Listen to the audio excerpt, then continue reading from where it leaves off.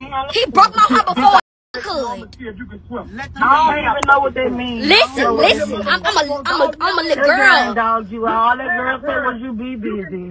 I'm taking all my wheel in the morning. I'm taking all my in the morning. You call my daughter. Tell that I'm taking all my wheel in the morning. You call my daughter. I'm trying to hustle for y'all. And we're just do me. We're very thankful. So The video says you see that's all it says. like your brother. What does little And brother? pause huh? Yeah, I'm gonna see if you can swim like your You nothing to my brother. your You ain't do nothing to my brother. I'm gonna see if you You ain't do nothing to him. 13 and you talk like I'm 16. Listen to the whole point was about him not being a father.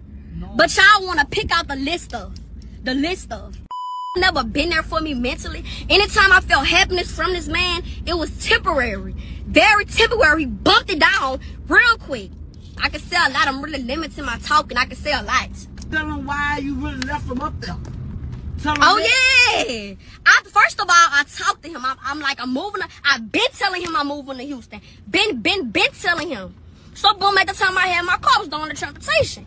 My um, I had to drive. I had to drive up here with my mama, 'Cause I had and cause she had a bad car accident.